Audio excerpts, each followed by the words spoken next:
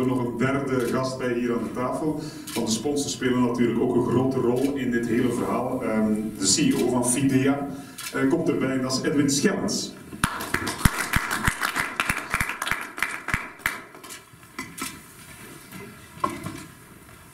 Edwin, laten we even teruggaan naar, uh, ja, wat was het, 2004, intussen 11 jaar geleden. Toen is het verhaal van Fidea begonnen in het uh, veldrijden. Kan je dat nog eens schetsen? Ja, het moet 2004 geweest zijn, denk ik inderdaad. Het begin van dat seizoen, 2004-2005. Augustus, dat wij hebben Hans leren kennen. Met zijn eigen stijl en dynamiek.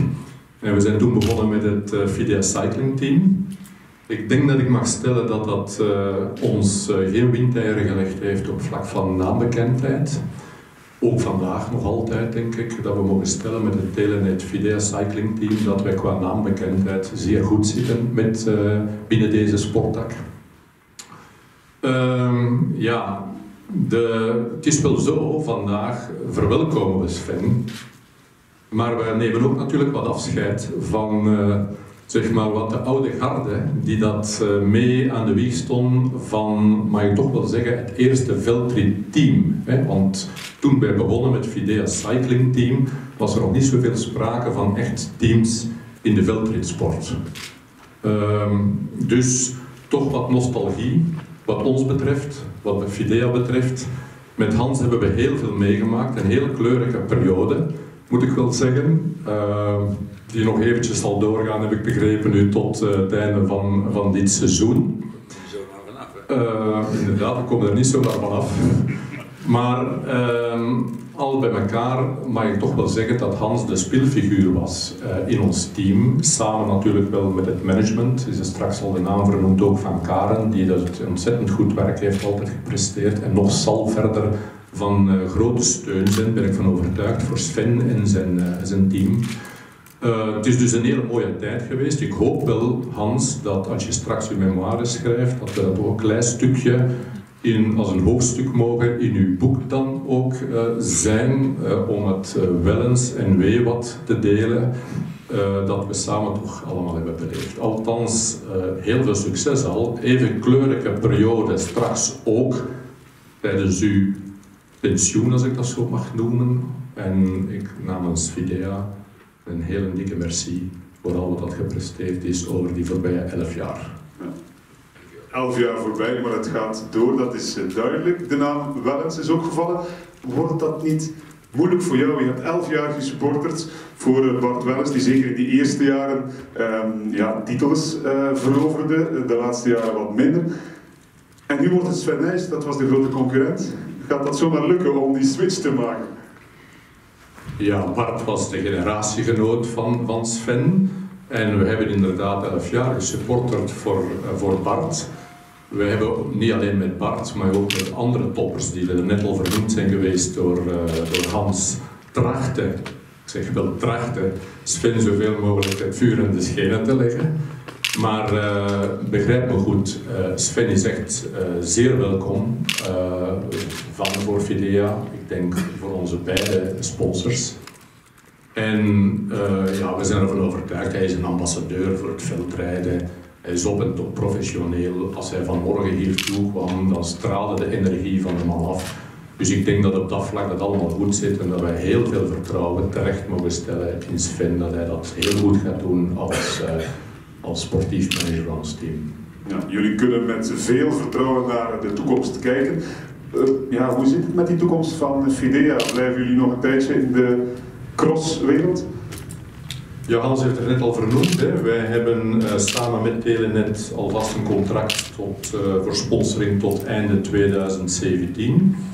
Natuurlijk nu met de komst van het nieuwe managementteam, met, uh, met Sven daar als sportief manager. Ja, dat voelt een beetje terug aan als de pioniersrol die we hebben gekend zo in 2004. Dus ik wil nog geen voorspelling doen wat dat zal worden na 2017. Maar binnen Fidea en het hele marketingteam voel ik toch wel de kriebels als van de beginjaren om er stevig terug tegenaan te gaan. En ik ben ervan overtuigd dat de pioniersrol en toch wel de wijzigingen die er gekomen zijn in de veldritsport in 2004 met Hans en met het, het, toen het toenmalige Fidea Cycling Team, dat Sven zeker in staat is om daar ook weer eens eventjes nieuwe wegen te trekken, nieuwe uh, stroken zeg maar, die er toch wel zullen verwondering wekken in de veldritsport.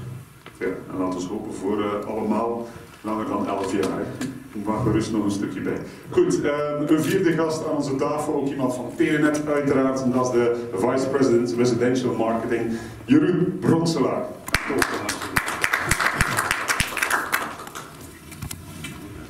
VRT, ja. Dus. ja. Jeroen, sinds 2009 het verhaal van Telenet in het uh, veld rijden.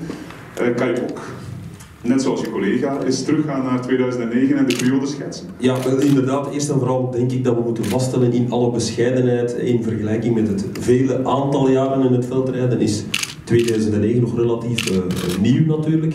Maar toch, ik denk dat Telenet sinds 2009 um, ehm, heel erg actief is geweest. Um, we hebben een hart voor veldrijden. Dat is natuurlijk ook omdat de Vlamingen en onze klanten een echt hart voor veldrijden hebben. Het is een, een sport van en voor het volk uh, in onze streek.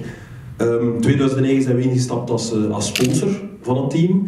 Uh, eh, 2011 hebben we dat engagement uh, vergroot, helemaal in lijn ook met zoals wij graag naar sport kijken en zoals wij graag naar beleving kijken met een engagement naar het, het, jeugd, naar jeugd en de dames met het Telenet Youth Cycling Team, Telenet Videa Youth Cycling Team, excuseer. Um, waarbij we natuurlijk een soort nieuw project pasten. En dan nu recent hebben we de stap gezet naar de rechten uh, kadert ook weer helemaal in onze idee dat we niet alleen een sponsor willen zijn, maar ook iemand die de sport echt ondersteunt. We zagen, ehm, er was wat twijfel. De afgelopen jaar zag je zo wat de onzekerheid sluipen, besparingen bij VRT. Eh, gingen nog investeren in, in de rechten? Het, het nakende vertrek van Sven, wat gaat er gebeuren met de sport? Ik denk dat dat allemaal heel erg goed zit.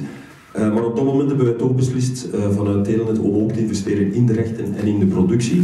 Om ervoor te zorgen dat uh, de sport een heel mooie toekomst kan hebben. We zijn begonnen met een nieuwere camerastandpunt met nog meer crossen op het scherm te brengen. Als een, ja, zeg maar een nieuwe laag van ons engagement ten opzichte van het veldrijden. Ja, het sponsorschap van dit team is redelijk belangrijk. Je hebt nu de voorbije jaren samengewerkt met Hans. Ja, je moet er nu wel afscheid van een nieuwe start. Um, hoe zie jij dat of hoe ziet Telenet dat? Wel, ik denk dat wij heel erg tevreden terugkijken op de afgelopen jaren. Dat zijn heel succesvolle jaren geweest wat, dat, wat ons betreft. Um, de, de veldritsport is gegroeid, is blijven groeien. Uh, ik denk dat het team ook blijven, blijven groeien is uh, op zijn manier. En ik denk dat we daar ook naar Hans voor moeten kijken. Hè. Het is al vernoemd, maar uh, hij was absoluut een van de eerste die de professionalisering van het veldrijden in gang gezet heeft. Hij is een van de eerste geweest die een heel duidelijke keuze gemaakt heeft voor de jeugd. Een keuze die dus echt wel past bij de visie die wij hebben eh, vanuit Telenet ook. Om, je moet bij de basis beginnen, de basis versterken, om ervoor te zorgen dat je, dat je sport ook aan de top sterk blijft en relevant uh, blijft. En ik moet vandaag ook vaststellen dat je ziet uh, dat Hans ook op een hele dynamische en open manier ervoor zorgt heeft dat we een nieuw project kunnen ingaan uh, met iemand nieuw. Dus ook daarvoor wil ik, uh, wil ik Hans toch nog eens heel uitdrukkelijk bedanken. En dan bij deze, als ik achteruit kijk, kunnen we misschien ook even vooruit kijken. We hebben een nieuw project om naar vooruit te kijken met Sven, sterke man van het veldrijden natuurlijk. En we zijn ervan overtuigd dat hij iemand is die onze, de jeugd, uh, de dames, maar ook de profs, eh, een, nieuwe weg zal wijzen eh, de volgende stap zal kunnen doen zitten in eh, de toekomst van uh, Team Cycling Team. Het veldrijden in het.